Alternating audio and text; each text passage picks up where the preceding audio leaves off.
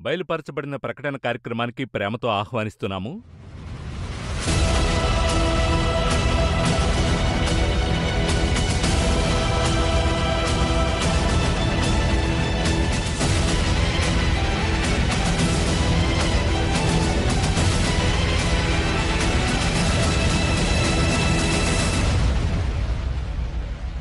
తరచుగా ఈ కార్యక్రమాన్ని మీరు చూస్తూనే ఉన్నారు. చాలా సంతోషం. చాలా కమెంట్స్ చాలా ఫీడ్బ్యాక్ ఈ కార్యక్రమానికి కూడా బ్రదర్ ఎండి జగన్ వచ్చి ఉన్నారు. రండి ఆయన్ని ఆహ్వానించి కొన్ని ప్రశ్నలు అడిగి తెలుసుకుందాం. Brother Jagan welcome to the program ప్రతిసారి మనం రెవల్యూషన్ గురించి మాట్లాడుతున్నప్పుడు పలు విధములైన ఉద్దేశాలు దీన్ని చూస్తున్నవారు డిఫరెంట్ పీపుల్ అయినప్పటికీ కూడా తరచుగా డీపర్గా స్పిరిచువల్గా ఆత్మీయ జీవితంలో ఎదగాలని అనుకునేవారు మాత్రం చూస్తున్నారు. ఇతర పోర్షన్లు బైబిల్లో చదవడానికి రెవల్యూషన్లో చదవడానికి ఒక తేడా ఉంది కదా? ఆ తేడాలో స్పిరిచువాలిటీ మనం చూడాలా? లేదా జనరల్గా మనం దీన్ని ఎలా చూడాలంటారు? రెవల్యూషన్ చదవడం జనరల్గా చదివేవారు ఈ రెవల్యూషన్ను చదువుతున్నారు. అయితే ఇది కొంచెం డీపర్గా ఉంది. దీన్నెలా మీరు గ్రహిస్తున్నారు? యాక్చువల్గా ఏంటంటే ఇప్పుడు ఈ యొక్క ప్రతి పుస్తకంలోనూ ఒక్కొక్క విషయము డీపర్గానే ఉంది. మ్మ్. ప్రతి పుస్తకము లోతైంది. అన్ని అన్ని పుస్తకాలు పుస్తకాలను ఏదో కొన్ని కాదు. దేన్ని లైట్గా లైట్గా తీసుకోవడం కుదరదు. ఎందుకు ప్రకటన చివర్లో ఉంది అన్నందులకు నేను అర్థం చేసుకున్నటువంటి విషయం ఏంటంటే మీరిప్పుడు మత్తయి సువార్త నుండి తీసుకోండి మన యొక్క న్యూ టెస్ట్మెంట్. ఈ న్యూ టెస్ట్మెంట్ అట్లే చదువుకుంటూ వస్తే ఆరంభంలోనైతే గాస్ఫల్స్ యేసును గుర్చినటువంటి చరిత్ర అలాగే మనం చదువుకుంటూ వస్తుంటే తర్వాత మీరు చూసినట్లయితే అపోస్తలుల కార్యములు అట్లే ఆ చరిత్ర ఆధారములు ముగింపునకొస్తాయి. అవును. తర్వాత మీరు రోమిలకు పత్రిక చదువుతూ ఉంటే ఇంకా కొంత మీరు డెప్త్లోనికి వెళ్తారు. కానీ మీ యొక్క ఆత్మీయతను ఈ ఐదు పుస్తకములు ఆ డెప్త్కి తగినట్టుగా మార్చి ఉంచుతాయి. ఓకే. చదువుతుంటే ఈ రోమిలకు చదివేట్టుగా ఈ ఐదు పుస్తకాలు మిమ్మల్ని మార్చి ఉంచుతాయి. కొనసాగింపుగా మీరు దాని లోతుల్లోకి వెళ్తున్నప్పుడు. తర్వాత ఆ రోమన్స్ నుండి ఏడు సంఘాలకు ఉంటాయి మొత్తమును రోమియులకు కొరింతీయులకు గలతీయులకు అని ఏడు సంఘాలు ఉంటాయి. లెటస్ ఈ ఏడు సంఘముల యొక్క ముగింపులో మీరు చూసినట్లయితే మరొక స్పిరిచువల్ లెవెల్కి మీరు వెళ్ళి ఉంటారు మరో డైమెన్షన్ అవును మరొక స్టెప్కి మీరు ఇంక్రీస్ అయ్యి ఉంటారు. ఈ గాస్పుల్ చదివేటప్పుడు ఉన్నటువంటి స్పిరిచువాలిటీని ఏం చేస్తుందంటే నెక్స్ట్ మిమ్మల్ని ఫస్ట్ ఫ్లోర్కి తీసుకెళ్ళి ఉంటుంది ఇక్కడ పత్రికలు చదివి ముగిసిన తర్వాత చూసినట్లయితే తర్వాత వ్యక్తిగతంగా రాస్తాడు. తీతు తిమోతి ఫిలెమోను వ్యక్తిగతంగా రాస్తాడు. రాసి ముగించి ఆ తర్వాత యోహాను చూస్తే అలాగే రాసి ఉంటాడు. పేతురును యోహాను వీరు రాసినవి చదివి ముగిసిన తర్వాత హెబ్రియులకు మొదలైనవి అన్నీ చదివిన తర్వాత అట్టర్ మోస్ట్గా మీరు ఫుల్ డెప్త్కి వచ్చి ఉంటారు అంటే మిమ్మల్ని తయారు చేసి ఉంచుతుంది ఆ పుస్తకం. ఫౌండేషన్. అవును. వీటి యొక్క డెప్త్తో మీరు రెవల్యూషన్లోకి వెళ్తున్నప్పుడు మీకిది కష్టంగా తెలీదు. అందుకని ఇవన్నీ ఇంత లెవెల్కి వస్తేనే ఇది ఈజీగా అర్థం ఈజీగా అవుతోంది ఉంటుంది. మనము తీసిన వెంటనే ప్రకటన చదవడం కష్టంగా మ్మ్. ఉంటుంది. లేకపోతే ఈ పుస్తకాలన్నీ క్యాషువల్గా చదువుకుంటూ వెళ్ళినట్లయితే ఇది కష్టంగా. ఉన్నట్టుగానే ఉంటుంది. ఎప్పుడును ఇప్పుడు ఎల్కేజీలో చెప్పించే పాఠం ఎందుకంటే యూకేజీ చదవడానికైనా బేస్. ఇప్పుడు కిండర్ గార్డెన్ ముగిసేప్పుడు చూస్తే ఆ ఫస్ట్ స్టాండర్డ్కైన బేస్ ఈ కిండర్ గార్డెన్ ఇచ్చుంటది.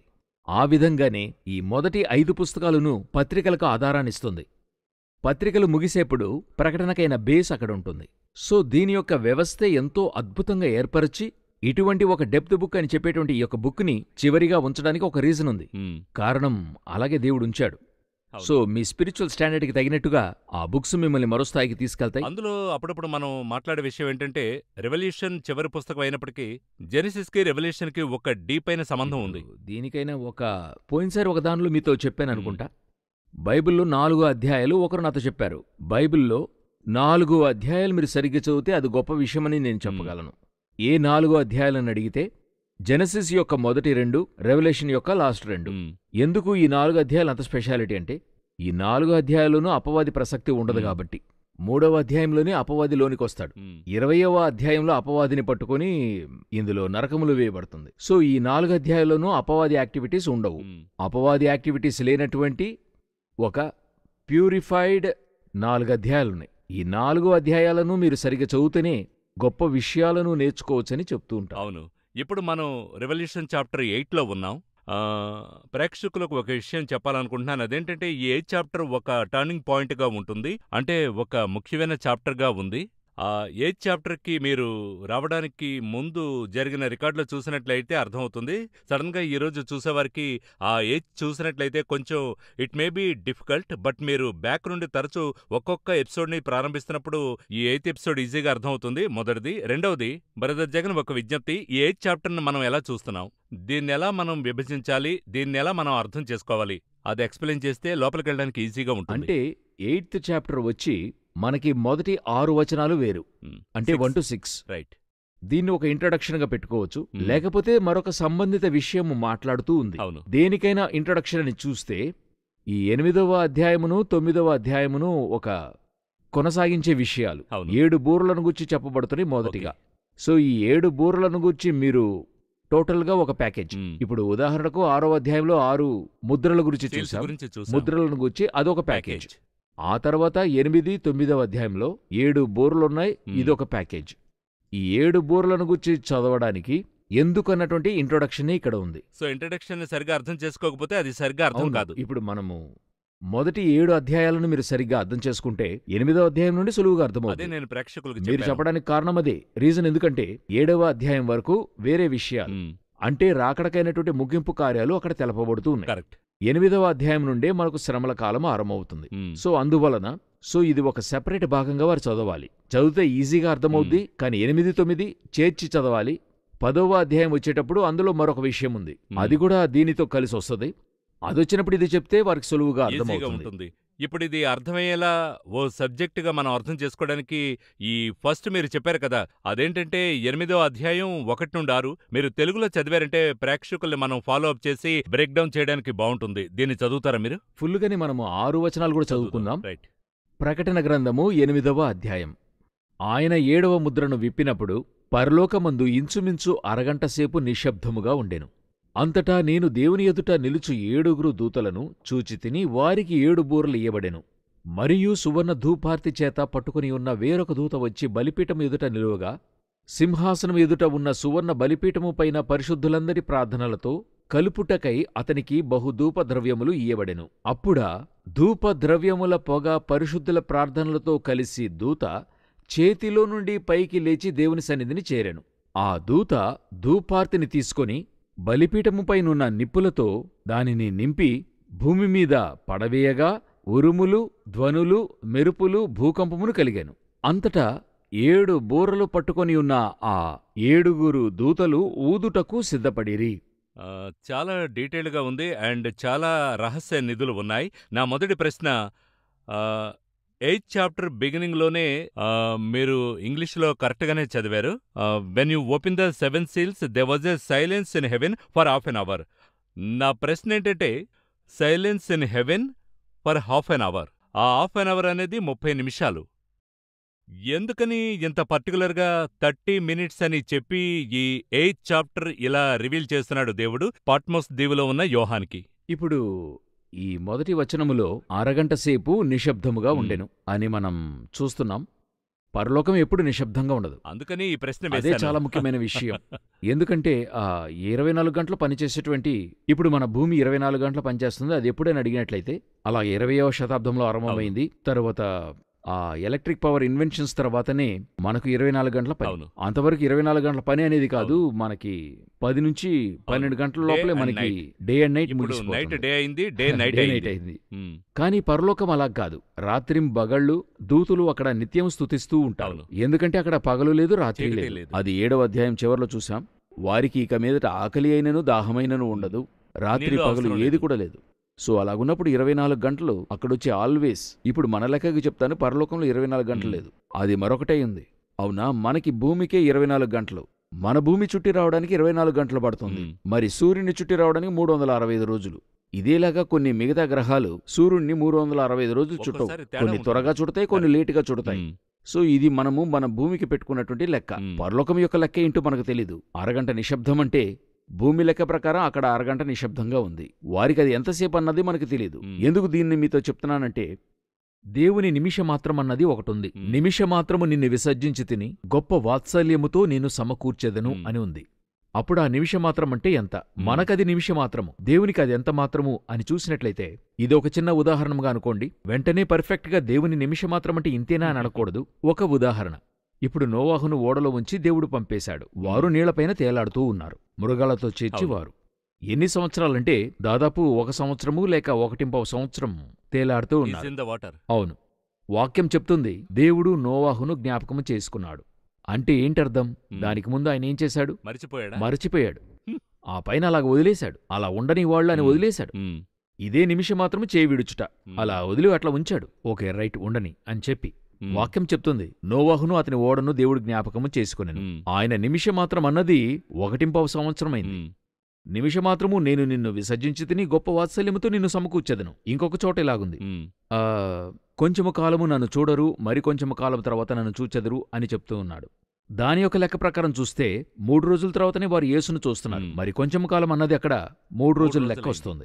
ఇంకా కొంత డీప్గా వెళ్తున్నాం. ప్రకటన పదిహేడవ అధ్యాయంలో ఏడవ సామ్రాజ్యము కొంతకాలము ఉండును అని చెప్పింది. ఈ కొంతకాలం అన్నది అక్కడ ఎంతని చూస్తే వెయ్యిన్ని రెండు వందల అరవై సంవత్సరాలు.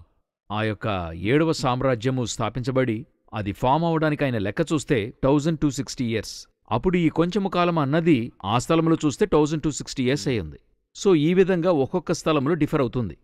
అపవాది కొంతకాలము కట్లు విప్పబడాలి. ఎంతకాలం అన్నది లేదు. కొంచెము కాలం అని చెప్పి అక్కడ వదిలాడు. సో దేవునికి ఆ లెక్క తెలుస్తుంది. ఇప్పుడు మనల్ని తీసుకోండి. కొంచెము కాలము నన్ను చూస్తారు కొంచెము కాలము నన్ను చూడరు అని చెప్పాడు. ఇప్పుడు కొత్త నిబంధన సంఘం వారికైతే కొంతకాలం ఆయన చూశారు ఆ తర్వాత పరమును చేరాడు. కొంతకాలము నన్ను చూడరు ఇప్పుడు తిరిగి వచ్చినప్పుడే ఆయన మరలా చూడగలము. దాదాపుగా ఇది ఎన్ని సంవత్సరాలని మీరు చూడండి? రెండు వేల సంవత్సరాలు. సో ఈ లెక్కలన్నీ కూడా మనకు సంబంధించిన విషయము. సో అరగంట అనేటువంటిది మన లెక్క ప్రకారం అరగంటగా ఎంచబడుతుంది. కాంటెక్స్ట్ పరలోకంలో అరగంట అన్నది ఎంత సమయం మనకు తెలియదు మనకి చెప్పబడింది. ఇప్పుడు ఇంకొక విషయం ఇందులో ముఖ్యమైనది నిశ్శబ్దమే.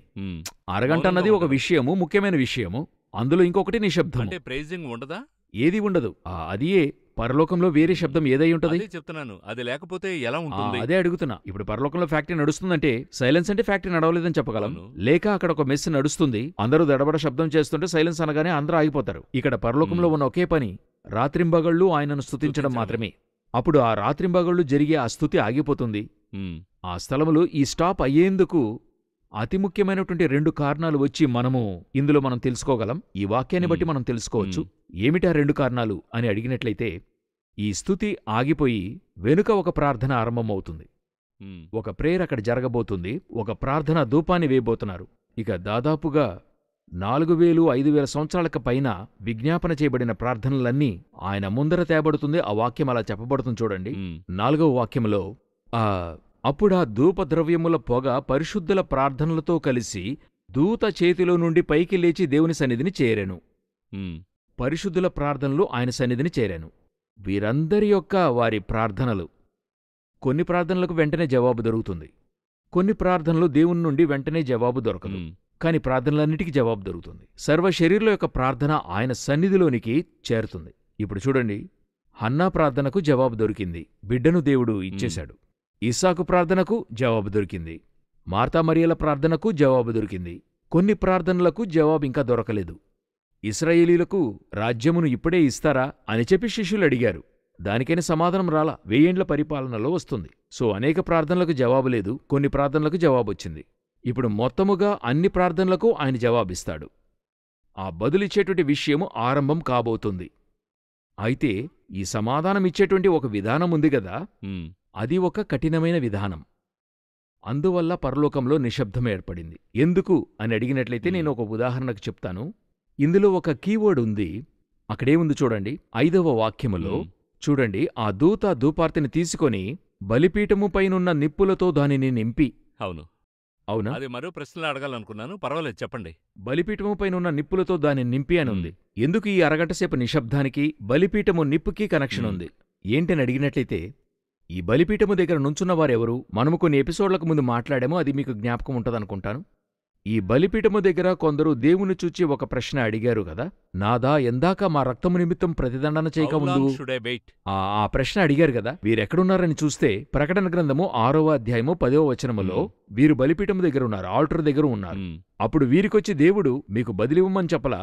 Seal fifth seal exactly correct అప్పుడు ఆ స్థలములో దేవుడిచ్చేటువంటి బదులు ఏంటంటే Hmm. కొంచెం వేచి ఉండండి మీ వంటి సహోదరుల యొక్క లెక్క పూర్తి అయ్యేటువంటి కాలం వస్తుంది. ఇప్పుడు ఆ కాలము ఆరంభమవుతుంది. ఈ బలిపీఠము నుండి అడిగిన ప్రశ్నకైనటువంటి బదులు దేవుడు ఇస్తూ ఉన్నాడు. ఎందుకంటే వారు ప్రార్థన చేశారు. ఇంతవరకు మనవరికైతే అది విజ్ఞాపన వారికైతే అది ప్రార్థన. ఎంతవరకు ప్రతిదండన చేయక ఉందురు అని అడుగుతున్నారు. అప్పుడు ఆ బలిపీఠము దగ్గర ఉన్నవారి యొక్క అగ్ని అంటే ఏంటి అర్థమంటే ఆ అగ్నికి రెండు విధాలైన కార్యాలున్నాయి. ఒకటి పరిశుద్ధాత్మని యొక్క నిప్పు అంటే అగ్ని. ఇంకొకటి ఉంది ఈ నిప్పు అన్నది కోపానికి చిహ్నము. ఎలియా మొదటి రాజులు పద్దెనిమిదవ అధ్యాయంలో ఆయన ఆ కర్మేలు పర్వతంపైన అవును. ఉన్నాడు. ఆ చోట చూసినట్లయితే భక్షించే అగ్ని వచ్చింది. అది కాల్చేటువంటిది. వారిని హతమార్చేటువంటి అగ్ని. సో ఇప్పుడు ఆ అగ్నికి సమానమైనటువంటి ఒక అగ్నియే వస్తుంది. ఎందుకంటే ఎలియా ప్రార్థన చేసినప్పుడు ఆకాశం నుండి అగ్ని దిగి బలిపీఠం మీద ఉన్న మాంసంను దహించి వేశాను అనుంది. సో ఈ అగ్ని దహించేటువంటిది. కాబట్టి వీటి వెనుక ఉన్నటువంటి దేవుని కార్యాలని చూసినట్లయితే పూర్తిగా నాశనాన్ని గురించే మాట్లాడుతున్నాడు. ఇక్కడ నుండే నాశనం ఆరంభమవుతుంది. దీని మ్. తర్వాత అతడు మొదట ఆదికాండం పుస్తకంలో మొదటి ఆరు రోజులలో ఏదైతే సృష్టించాడో వాటన్నిటిని ఇక్కడ నాశనం చేస్తున్నాడు. పార్టు పార్టుగా నాశనం చేస్తున్నాడు. ఆ ఆరంభమునకైనా ఒక ప్రేయర్గా దేవుడు దీన్ని చూస్తున్నాడు. ఆ మ్. ప్రేయర్కైనటువంటి బదులే. సో ఇప్పుడు ఎందుకు నిశ్శబ్దమైంది? అని అడిగినట్లయితే మనము తండ్రి అయిన దేవుణ్ణి ఏ విధంగా చూశాము అని అడిగినట్టయితే మనకు నా మటుకైతే నాకు బోధనిచ్చినంతలో తండ్రి కోపోద్రేకుడు. కుమారుడు ఎటువంటి వాడని అడిగినట్లయితే కృపగలిగినవాడు. ఎంతో ప్రేమగలవాడు ఈ విధంగా. అవును ఆ విధంగానే మనం చూస్తున్నాం. ఇది ఒక యాంగిలే మన దృష్టిలో చెప్తే మన భాషలో చెప్పాలంటే ఒక డైమెన్షన్. ఇంకొక కోణంలో చూసినట్లయితే దేవుడు ఎంతో ప్రేమగలవాడని బైబిల్ చెప్తుంది. దేవుని యొక్క ప్రేమ అనేది తన ఏకైక కుమారుని అనుగ్రహించి ఇంతగా ప్రేమించాడు.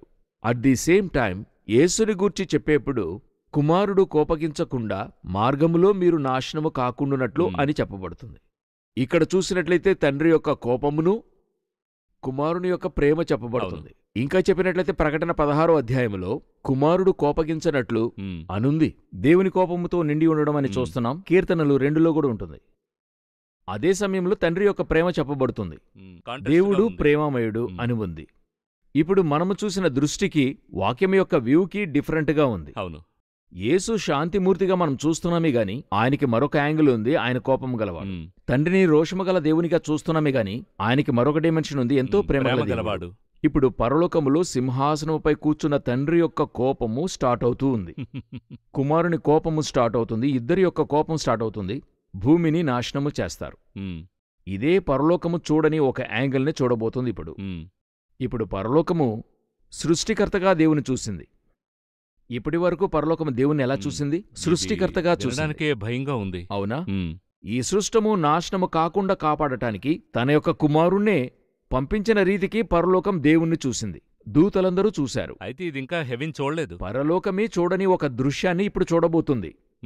ఏంటని అడిగితే ఇప్పుడు చూడండి ఈ భూమిని నాశనం చేయటానికి ఆ సాతాను కవ్వించి ఆదాము అవ్వల్ని మోసం చేశాడు. అంతా పోయింది. అప్పుడు కూడా ఆయన భూమిని నాశనం చేయలా. తోటను కూడా నాశనం. చేయలేదు. ఈ ఆదామును కాపాడటానికి ఏమి చేయాలో. అదే మాక్సిమం. చివరిగా యేసుక్రీస్తును పంపి అన్నీ చేసి ముగించాడు.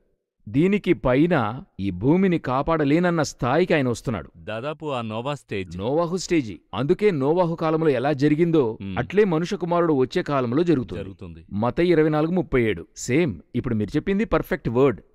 సో ఇప్పుడు ఆ నాశనానికి ఆయన చెప్తున్నాడు నాకు మనుషుని యొక్క చెడుతనము నాకు ముందుగా కనపడింది. మనుషుని సృష్టించినందుకు సంతాపము నొందుచున్నానంటున్నాడు నోవాహుతో. ఆ స్థలానికి వస్తుంది ఇది. అక్కడికే వస్తుంది. ఇప్పుడు వచ్చి ఆయనను ఏ విధంగా చూస్తారంటే ఇప్పుడు నీటితో నాశనం చేసిన కాంటెక్స్ట్ వేరే. ఆ యొక్క రాత్రింబగళ్ళు నలభై దినాలైనటువంటి. విషయం వేరే. ఇందులో మీరు చూసినట్లయితే ఒక భాగాన్ని కాపాడి ఓడలో ఉంచేశాడు అన్నిటిలోనూ. మృగాలనే జతలుగా సమకూర్చబడ్డాయి అని జరిగాయి. ఇక్కడ దానికి ముందుగా ఎలాగ ఓడలో గ్రూపును తీసుకొచ్చి కాపాడి ఉంచాడో అలాగే ఒక గ్రూపును తీసుకెళ్ళి ఎక్కడ ఉంచాడు? సింహాసనం ముందు ఏడవ అధ్యాయంలో పరలోకంలో ఉంచాడు. మరొక గుంపు ఒక లక్ష నలభై నాలుగు వేల మందిని సేఫ్గా భూమిలో ఉంచాడు. మరొక చోట. అవును. ఇది ముందుగానే క్రితం అవునవును. ఎపిసోడ్లో చూసాం సో అక్కడ ఓడలో నోవాహును అడవి జంతువులను స్థానిక జంతువులను దేవుడు కాపాడినట్టుగా ఇక్కడ ఆయనకు కావలసిన రెండు గ్రూపులను సేవ్ చేశాడు. ఆయన్ని నమ్మే ప్రజలకు సేఫ్టీ. సేఫ్టీ ఇచ్చేస్తాడు. అందులో భేదాభిప్రాయం లేదు. ఆయన చెప్పినట్టుగా జీవించే వారికి సేఫ్టీ. సేఫ్టీ. మిగతాది మొత్తము నాశనం చేయబోతున్నాడు. ఇప్పుడు పరలోకం ఏ విధంగా చూడబోతుందంటే దాదాపు ఆరు వేల సంవత్సరములుగా చూడని దేవుని కోపాన్ని కుమారుని కోపాన్ని సృష్టి చూడబోతుంది. ఇది మనం చెప్పడం లేదు రెవల్యూషన్లో ఉంది. వాక్యం చెప్తుంది. సో దాని యొక్క పరిణామంగానే పరలోకము నిశ్శబ్దమయ్యింది. మీరు కొందరి ఇండ్లలో చూస్తుంటారు. కలహం జరుగుతూ ఉంటది. ఒకరు నిశ్శబ్దంగా ఉంటూ ఉంటారు. వీరు గొడవాడుతూ ఉంటారు వారు మాట్లాడుతూనే ఉంటారు. ఆ ఒకడు మాత్రం నిశ్శబ్దంగా ఉంటాడు. ఒక సమయంలో అతడొచ్చి తన సహనం పోగొట్టుకుని వీరి అరుపును తట్టుకోలేక ఒకే మాటగా అరుపును అరుస్తాడు. అంతటితో ఇల్లే నిశ్శబ్దం. సైలెంట్ అయిపోతుంది. అంతవరకు మాట్లాడిన వారందరూ ఏ ఇతనికే కోపం వచ్చింది వద్దు వెళ్ళిపోదాం ఇంకా వద్దు. ఇంతకుపైన వద్దు వదిలేద్దాం అని చెప్పేంతగా అక్కడ ముగిస్తారు కదా. అదే ఇక్కడ జరుగుతుంది. ఎందుకంటే ప్రేమగలవాడిగా తన కుమారుని బలిచ్చేవానిగా జీవమునిచ్చేవానిగా ఎటువంటి పరిస్థితిలోనైనా కాపాడాలన్న దీక్షతో అన్నిటినీ చేసిన దేవుడు నాశనం చేసేవానిగా మారుతున్నాడు. ఈ చోట్లో ఈ కాంటెక్స్ట్ ఇర్మియాకు చాలా వర్తిస్తుంది అనుకుంటున్నాను ఇర్మియా క్యారెక్టర్ చూస్తుంటే ఎంతో ఓపికతో తాను ప్రేమించిన దేవుడు కోపడుతున్నాడు లేదు కాంటెక్స్ట్గా చూశాను అంతే. అంటే మీరు ఎవరినైనా తీసుకోండి. ఇప్పుడు మోషే కంటేనూ దేవుని దగ్గర విజ్ఞాపన చేసేవారు ఎవరై ఉంటారు? అవును. ప్రజల కోసం. చాలా చాలా తగ్గించుకుని ప్రజల అవునా? కోసం. అతడు తన ప్రజల కోసం తన జీవితాన్ని సాక్రిఫైస్ చేసుకున్నవాడుగా ఉన్నాడు. ఒకచోట అతనే వాళ్ళని నాశనం చేయడానికి చంపివేయమంటున్నాడు. ఆరోన్తో చెప్తున్నాడు వారెవరని చూసి పట్టుకో అలా చెప్పాడు. ఆ స్థాయికి అతను అతను చిరాకు పడ్డాడు. అవును ఎందుకంటే ఒకటి మనం బాగా తెలుసుకోవాలి. అప్పుడప్పుడు కోపపడేవాని కోపము పెద్దదే కాదు. ఎంతో నిశ్శబ్దంగా ఉండేవాడు ఉంటాడు వాడు కోపపడితే తట్టుకోలేరు. మన ఊర్లో ఒక సామెత చెప్తారు. సాధు కోపపడితే అడవి తట్టుకోలేదట. ఆ నిశ్శబ్దం అనేటువంటిది ఎక్స్ట్రీమ్ లెవెల్లో ఉండేటువంటి వానికి కోపపడితే కథ ముగిసిందే. ఇంకా చెప్పాలంటే ఆ మౌనంగా ఉండేవారిని మనం గ్రాంటెడ్గా తీసుకోకూడదు. తీసుకోకూడదు. అది యేసుక్రీస్తుని రెండు వేల సంవత్సరాలుగా కృపాపూర్ణుడుగా ఎందుకు ఇప్పుడు ప్రసంగమే ఏం చెప్తుంది. ఆయన అలా నాశనం చేయడండి కృపగలిగిన దేవుడు. ఆయన న్యాయాధిపతిగా వస్తున్నాడనుంది. న్యాయాధిపతినే ఇప్పుడు వారు చూడబోతూ ఉన్నారు. ఇంతవరకు ప్రజాస్వామ్యాన్ని చూశారు ఇక మీదటే నియంత్రణ చూడబోతూ ఉన్నారు. ఆ యొక్క డిక్టేటర్షిప్ యొక్క స్టార్టింగ్ పాయింట్నే అర్ధగంట నిశ్శబ్దం అయ్యింది మ్మ్. అసలు ఈ ఈ యొక్క కోపము ఆయనకి ఎందుకు వచ్చింది అన్నటువంటిదే ఇప్పుడు మనం చెప్పుకున్నటువంటి రెండవ ప్రశ్న. ఓకే. బ్రదర్ జగన్ మీరు చెప్తున్నప్పుడు దేవుడు ఎంత ప్రమామయుడని అర్థమవుతోంది ఎంత సహనం గలవాడని అర్థమవుతోంది అయితే ఆ దీర్ఘ శాంతానికి ఒక పరిమితి ఉందని అర్థమవుతోంది. కదా? అవును. ఎందుకంటే మనం దాన్ని గ్రాంటెడ్గా తీసుకోలేం కదా? మన దేవుని దగ్గర ఒక వ్యత్యాసమైనటువంటి పేరుంది. ఉమ్, ఆదియు అంతము లేనటువంటి వాడు. అంటే ఆయన ఇటర్నల్ నిత్యములో ఉన్నటువంటి వాడు. అవును. అయితే నేను ఆరంభము ముగింపునై ఉన్నానంటున్నాడు. To finishing starting and finishing అన్నది ఉంది. అయితే నాకు స్టార్టింగ్ ఫినిషింగ్ లేదు. నా దగ్గర ఒక స్టార్టింగ్ ఫినిషింగ్ ఉంది. అదే విధంగా దేవుని యొక్క కోపము ఇప్పుడు ఆరంభమును గురించి చెప్పుకున్నాం. అదే సమయంలో ఆయన సహనము కొంత నిశ్శబ్దాన్ని గురించి కూడా చెప్పుకున్నాం. మాట్లాడదాం. ఇప్పుడు ఇదే అక్కడ చూస్తూ ఇప్పుడు నా ప్రశ్న ఏంటంటే ఇదంతా చెప్తున్నాం రైట్. ఏం రాబోతుందని బైబిల్లో చెప్పిన విషయాలు వివరిస్తున్నాం. సరే ఈ కోపాన్ని ఈ కోపం ఒక హాఫ్ అన్ అవర్ సైలెన్స్ గురించి ఇంత డీటెయిల్డ్గా మీరు ఎక్స్ప్లెయిన్ చేశారు బట్ నేను ఇందులో నుండి ఎలా బయటికి తప్పించుకొని జీవించాలనే విషయం కొద్దిగా టచ్ చేస్తే కొంచెం బెటర్గా ఉంటుంది. ఇప్పుడు మనము వాస్తవంగా ఇది చూసినట్లయితే ఈ స్థలములో మనం ఉండకూడదు. అదే విషయం అదే. Real fact. ఏడవ అధ్యాయం తొమ్మిదితో ఆయన కృప ముగింపునకొచ్చి శ్రమకాలము ఆరంభమవడానికి చిహ్నం ఇది కృప ముగియునంటే ఆయనకు కృప లేదని కాదు న్యాయ తీర్పుల కృప ఉన్నతంగా ఉంటది.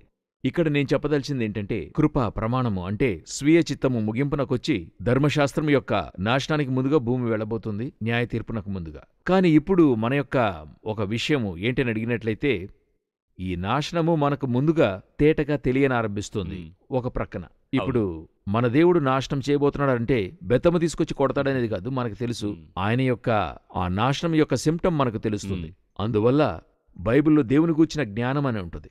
తండ్రిని ఎరిగే జ్ఞానము కుమారుని ఎరిగే జ్ఞానము దేవుణ్ణి తెలుసుకునగలమా?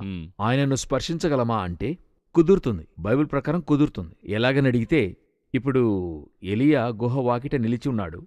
అప్పుడు వాక్యం చెప్తుంది పర్వతము బద్దలయ్యేంత పెనుగాలి వీచెను. అంతటితో అయితే పర్వాలేదు. కానీ ఆ వాక్యం ఏం చెప్తుంది? అందు యెహోవా ప్రత్యక్షం కాలేదు. తరువాత మెరుపు పుట్టెను ఆ మెరుపునందు ప్రత్యక్షము కాలేదు. భూకంపము కలిగెను అందులోనూ. దేవుడు ప్రత్యక్షం కాలేదు. దాని అర్థం ఏంటంటే ఈయన ఏ మనస్తత్వంతో ఉన్నాడన్నది ఇక్కడ ఆ జరిగే రియాక్షన్ బట్టి తెలుసుకోగలం. ఈయన తన తన యొక్క పగలు ఎండ సమయమున అబ్రహామును కలవడానికి వచ్చాడు ఎందుకు వచ్చాడంటే సొదోమును నాశనం చేయడానికి వచ్చాడు అప్పుడు ఎండవేళ అన్నప్పుడు దేవుడు కోపముగా ఉన్నాడని అర్థం. పగలు చల్లని పూట అయితే ఆదాముతో సంచరించడానికి వచ్చాడు. అప్పుడు చల్లని పూటైతే దేవుడు కూల్గా ఉన్నాడని అర్థం. కరెక్ట్. ఈ యొక్క ఈ సంభవము ఆ యొక్క పరిస్థితి దేన్ని తెలియజేస్తుందంటే దేవుని తెలియజేస్తుంది. ఇదే వాక్యము దేవుణ్ణి ఎరిగేటువంటి జ్ఞానము. అప్పుడు ఈ స్థలములో ఒక ప్రక్క సైలెంట్ ఎవరు మాట్లాడద్దు. ఒక ప్రక్కన బలిపీఠం నుండి తీయబడుతుంది అని కూడా. ఒక ప్రక్కన అగ్ని లేపబడుతుంది. అన్నిటినీ తీసి ఎందుకు ఇలా తీస్తున్నారని అడిగితే ఆ పరిశుద్ధుల యొక్క ప్రార్థన. ఇన్ని రోజులు మీరు చేసినటువంటి ఘోరం. వారిని కొట్టిన దెబ్బ వారిని ఎలాగా ప్రకటన గ్రంథం వాక్యములు చెప్పబడినట్టుగా హేబేలు మొదలుకొని జకర్య ప్రవక్త వరకును బలిపీఠమున వద్ద చంపబడిన జకర్య ప్రవక్త వరకును అవును. ఎంతమంది ప్రవక్తలను మీరు చంపారు ఎర్షలిమా ప్రవక్తలను చంపినదానా అని ఉంటుంది ఇంతమంది యొక్క కార్యములన్నిటికీ కూడా నేను సమాధానమిచ్చే కాలం వస్తుంది సో నా కోపము యొక్క పరాకాష్ఠను మీరు ఎప్పుడు చూడగలరంటే సో అట్లే ప్రకృతి అంతా కూడా కొలాప్స్ అయ్యేది మీరు గమనిస్తూ ఉంటారు. వరల్డ్ వైడ్గా నేచర్ కొలాప్స్ అవుతుంది అదేమంటే సైంటిస్టే ఏం చెప్తున్నారని అడిగినట్లయితే ఏదో ఒక ముగింపు నాకు వెళుతూ ఉంది. ఇప్పుడు యుఎన్లో సెక్రటరీ చెప్తున్నాడు ఇప్పుడున్నటువంటి గ్లోబల్ వార్మింగ్ని చూస్తూ ఉంటే మనకి మనమే సమాధి గుంట తెరుచుకుంటున్నాం అంటాడు. అంటే మ్యాగ్నెటిక్ ఫీల్డ్ ఓపెన్ అవుతుంది. ఆ తర్వాత ఓజోన్లో సమస్య ఉంది ఆ ఓజోన్ కూడా ఇప్పుడు లాక్డౌన్ తర్వాత కొంత నార్మల్ అయినట్టుగా చెప్తున్నారు ఆ తర్వాత చూస్తే గ్లోబల్ వార్మింగ్ వస్తుంది. వరల్డ్ వైడ్గా సునామీలు వీటన్నిటిని కూడా మీరు చూసినట్లయితే భూమి ఇప్పుడు చాలా. భయంకరంగా ఇంతకు ముందు కంట్రీస్ని మీట్ చేసినప్పుడు ఎన్విరాన్మెంట్ అంత పెద్ద టాపిక్గా ఉండదు. ఈ రోజు ఏ దేశాన్ని మీట్ చేసినా ఫస్ట్ టాపిక్ ఎన్విరాన్మెంట్ గురించే. నేను కొంచెం రివర్స్గా చెప్తాను. మ్. వారు ఎన్వైర్న్మెంట్ కోసమే మీట్ అవుతున్నారు. వారు మీటింగ్ పెట్టుకుని ఎన్వైర్న్మెంట్ గురించి మాట్లాడటం లేదు. మీరు కావాలంటే అన్నిటిని కూడా చూడండి. వారి హాట్ టాపిక్ దేని గురించి మీట్ అవుతున్నారంటే ఎన్వైర్న్మెంట్ స్థాయికి కన్సర్న్గా వచ్చిందంటున్నారు. వచ్చిందంతే అంటే ఒక కొలాప్స్ అయ్యే సిచ్యువేషన్లో ఉంది వరల్డ్. ఇప్పుడు దేవుడు కోపంగా ఉన్నాడన్నందులకు ఒక చిహ్నం. సో దీన్ని విమర్శించే వాళ్ళు కూడా ఎస్పెషల్లీ మీ మినిస్ట్రీ అయి ఉండొచ్చు సహజంగా చూసేవారు. జగన్ ఇదే చెప్తున్నాడు అడుగుతూనే ఉన్నాడు భయపెడుతున్నాడని అలా చెప్పేవారు కూడా ఇంకా ఉన్నారు. ఉండనివ్వండి అదేదో నాకు మంచిగానే ఉంటుంది అంటాను ఓ. ఎందుకంటే నేను వేరుగా పురపగండ చేయలేను. నాతో కలిసి వారు కూడా చేస్తూ ఉన్నారు. ఈయన ఇలాగ చెప్తున్నాడని చెప్తున్నప్పుడు ఏం చెప్తున్నాడని ఒకళ్ళు చూస్తున్నారు కదా. ఇది ఒక రీతిలో మెసేజ్ తీసుకెళ్ళడానికి దారి. సరే అదొక అది ఒక పాజిటివ్. పాజిటివ్గా నేను తీసుకుంటున్నాను. సరే. ఇంకొక విషయం చూడండి. నోవాహు ప్రసంగం చేశాడు. నీతిని ప్రసంగించిన నోవాహు ఏం ప్రసంగం చేసుంటాడు? నోవాహు ఏం ప్రసంగం చేసుంటాడు? లోకము నాశనం కాబోతుంది. ఓడగడతనం అందరూ లోనికి వచ్చి చేరండి. అప్పుడు నోవాహు వెరివాడా కాదా? ఆ, రోజున్న వారికి- ఉండేవారికి నోవా ఒక పెద్ద ఫూలిష్ పర్సన్. ఇక రెండవది హానోకు నీతిని ప్రసంగించడం అంటే రాకడను గురించి మాట్లాడుతున్నాడు. ప్రభువు తన వేవేల పరిశుద్ధుల పరివారంతో వచ్చునని. ఆ యూదా పదిహేనులో చెప్తున్నాడు. అప్పుడు హానోకు ఎవరు. ఇది అన్ని కాలాల్లో జరిగేటువంటి సంభవం. ఇప్పుడు మనము జరిగేటువంటి ఒక విషయాన్ని సువార్త ఒక ప్రక్క చెప్పబడుతుంది. సంఘాన్ని బలపరుస్తున్నారు ఒక ప్రక్కన. బ్లెస్సింగ్ని గూర్చి మాట్లాడుతున్నారు. ఇవన్నీ చెప్పచ్చు తీర్పును గూర్చి మాత్రం చెప్పకూడదా? కాని పరిశుద్ధాత్ముడు వచ్చేప్పుడు పాపమును గూర్చియు నీతిని గూర్చియు న్యాయ తీర్పును గూర్చి మాట్లాడును అని ఉంది. సో పరిశుద్ధాత్మను గూర్చిన మూడు ముఖ్యమైన టాపిక్లో జడ్జిమెంట్ కూడా ఒకటి. మనం అదే మాట్లాడుతున్నాం. భూమి దానికి సిద్ధంగా ఉంది. ఈ బూరధ్వని రాకడకై వెయిటింగ్. ఏడవ అధ్యాయం జరిగితే ఎయిత్ చాప్టర్ తనంతట జరుగుతుంది. అంతే మనం ఇప్పుడు ఆ స్థలంలోనే ఉన్నాం. చాలా సంతోషం బ్రదర్. జగన్ ఈ ఎయిత్ చాప్టర్లో బిగినింగ్లోనే మనం చాలా ఫౌండేషన్గా చాలా మాట్లాడాం. ఇకపై రాబోయే ఎపిసోడ్స్లో మనం ఎలా దీన్ని డిఫరెంట్ సెగ్మెంట్స్ గాను వాట్స్ గోయింగ్ టు హ్యాపెనింగ్ దీన్ని ఎలా మనం ట్రంపెట్స్ ఎలా ఉంటాయనే దాని గురించి మరో రికార్డింగ్లో చూద్దాం. ఈ కార్యక్రమానికి మీరు వచ్చినందుకు ధన్యవాదాలు.